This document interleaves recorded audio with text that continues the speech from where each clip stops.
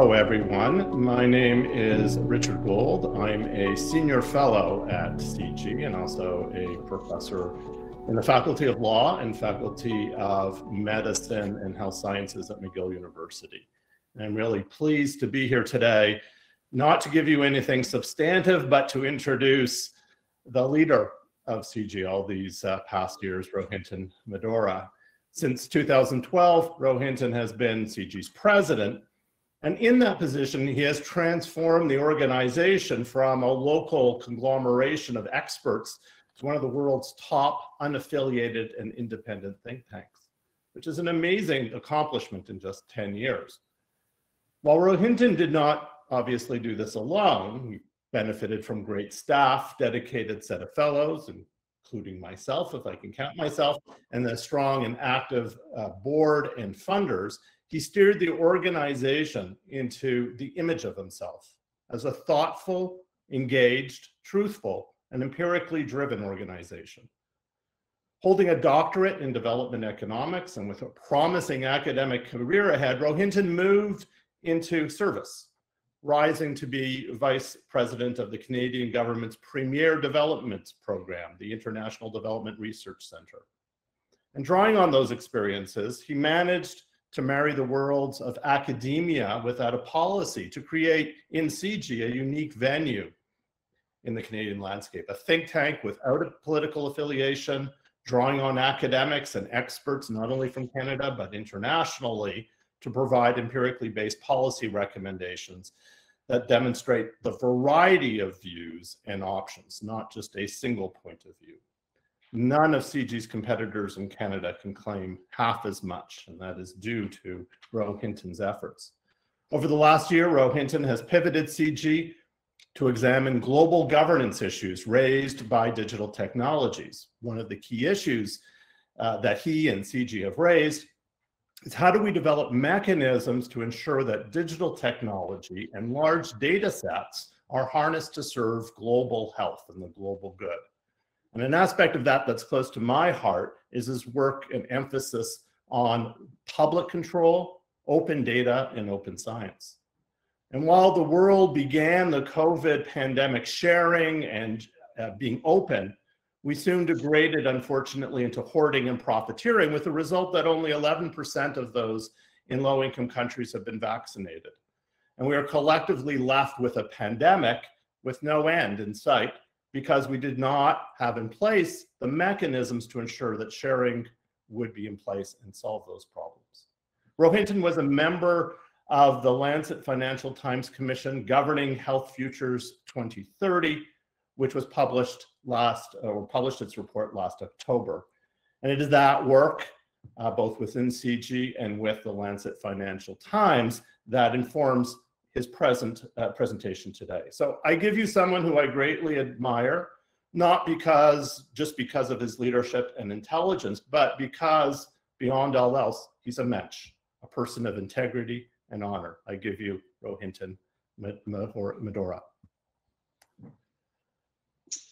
Richard, thank you for those very generous words. And uh, in, in some ways, you've kind of set the stage uh, so well for why CIGI and the University of Waterloo and all of us are here today, which is to sort of talk about a very leading edge issue. And if there's one reason we can do so, I should say, it's because of the contributions of uh, of uh, of people like you, and especially you. And I followed your work over the years and learned so much from it. Um, as Richard said, what I thought I'd do in my few minutes is talk a bit about some of the things that drove our work on the Lancet FT Commission uh, and then go beyond it to reflect in three layers actually on what this means for the topic of this conference, which is um, creating good uh, digital health data systems, if you will, and what are the sort of policy and action issues around that. If I had to sort of motivate some of the work we're doing, especially internationally, this is a slide that sort of shows you the correlation between child mortality and access to the internet internationally. You know, it's correlation, not causality. I get that.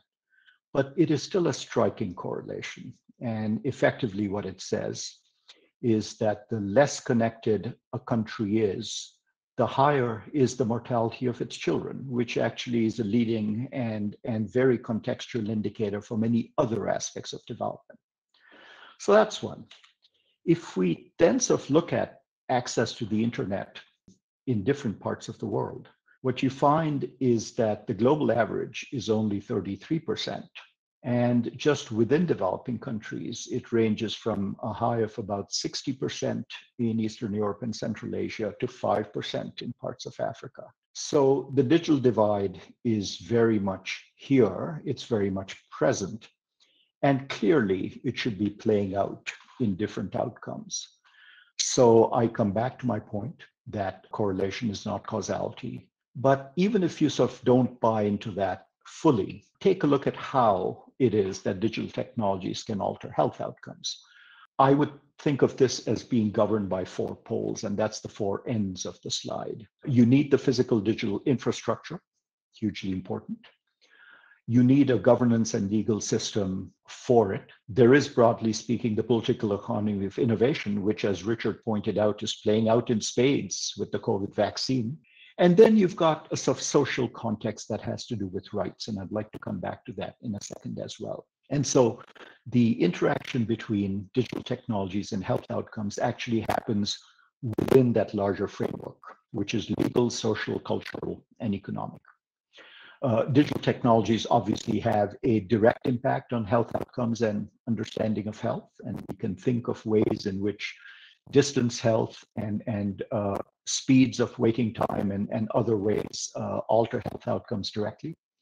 But perhaps equally important, if not more so, it might be the indirect impacts that digital technologies have through social, commercial, political, and environmental organizations that alter health. And so this is why I think the point about correlation is not causation has to be nuanced because in fact, the correlation may be simple, but it's hugely complex. And since this is a university-based conference, I would say that this slide alone holds, you know, uh, a couple of dozen PhD theses, and there's a lot of multi-level analysis that has to be done to tease out these various outcomes. But the very broad early phase of this work suggests to me that the indirect impacts of technologies on health would be at least as important as the direct impacts. And so when you think of the driving force of global health, at least, which is universal health coverage, and so equity in health and well-being, it has to be situated in a much larger set of social, political, and economic issues, which is what this diagram tries to portray. And this, in many ways, was the context within which uh, the Commission did its work. I'd next like to move to what this means actually for policy and for activity. And I, I, I, do this in three layers, if you will. I'd like to talk a bit about the overall approach that countries or societies take to new technology, and then move to data, and then move to sort of government policy per se. But I begin, and I've said this before and written about this, that if we're going to get to equitable and efficient health data systems and equitable and efficient and ideal health outcomes, the first thing we need is social norms around new technologies. And in the past, I've made the point that just as the world has coalesced around the Universal Declaration of Human Rights, which not everyone, you know, buys into fully, but we still have bought, have signed on to it. We're at the stage where we need a global compact on how technologies operate and why, how and how and why we view them. Uh, the G20 has done some work on this. The OECD has, different groups have, but I think the starting point has to be to formalize all of that and understand what kinds of ethics norms and processes we expect around technology and what technology does for us. And then here I, I think a lot of um, the point that actually Vivek made um, in his keynote yesterday, which is that a lot of the challenges in digital health are not technical, but they're policy challenges. And he made the same point this morning, and I um, earlier uh, at the, in the opening, and I, I fully subscribe to that. Uh, the second element of that compact has to be what kinds of ethical standards do we expect of emerging technologies, and can and should they be baked in at the innovation stage? Uh, it's not enough to have a technology emerge and then scramble to control it. There have to be sort of guidelines through which this happens. This increasingly is the case, certainly with biotechnology, where you have ethical norms within which researchers operate. It is frankly not the case with digital technologies more broadly, in which it is still a bit of a free for all when it comes to what you do, how you do, and so on. And so the third and final point, uh, as we move towards big data and machine learning, and as more and more decisions are taken for us or guided strongly by algorithms, is that we're going to have to move to a regime in which there's some transparency around algorithms and some accountability eventually of algorithms. So if I run a billion dollar business, my books are audited. If I run a billion dollar business, of which you know 980 million dollars is accounted for by uh, value by algorithms, no one's looking at my algorithms. Uh, maybe they should be. And so if algorithms are almost a factor of production, then we have to treat them that way. And we're not there yet. But I think uh, when it comes to health data, especially, this is where uh, the, the, the, policy direction might be going. S speaking of data, the next set of thoughts has to do with data governance. And here I'd say, and again, uh, many of you know much more about this than I do, but we're at the very early stages of harnessing big data and making it meaningful. Now, again, someone said yesterday that we have oceans of data and deserts of analysis, and that's exactly right. And so the first step has to be to create open databases that mean something. Um, one way forward is so-called data trusts and data cooperatives. So think of it as a club in which groups of individuals or entities um, pool their data and have a common framework for how it should be used, how it's stored, how it's anonymized.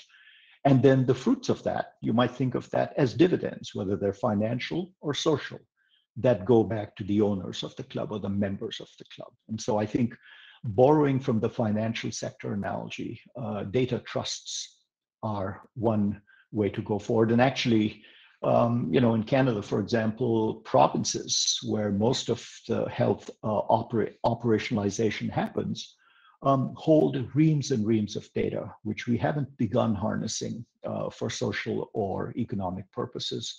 And you might think of, of a provincial health database as a data trust and then take it from there. We certainly need more common protocols around how data is gathered, why it's gathered, how it's stored, how it's aggregated, and then how it's put to use.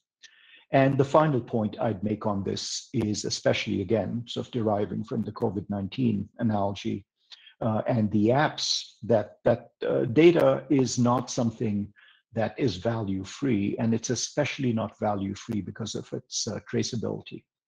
And so there's a privacy, security, human rights nexus of issues that has to be sorted out. And we're not going to be confident in giving up or giving away our data or having it used in this data trust form if we didn't have confidence in the authorities that use it. And so that's a hugely complex issue on which uh, we have to be making headway.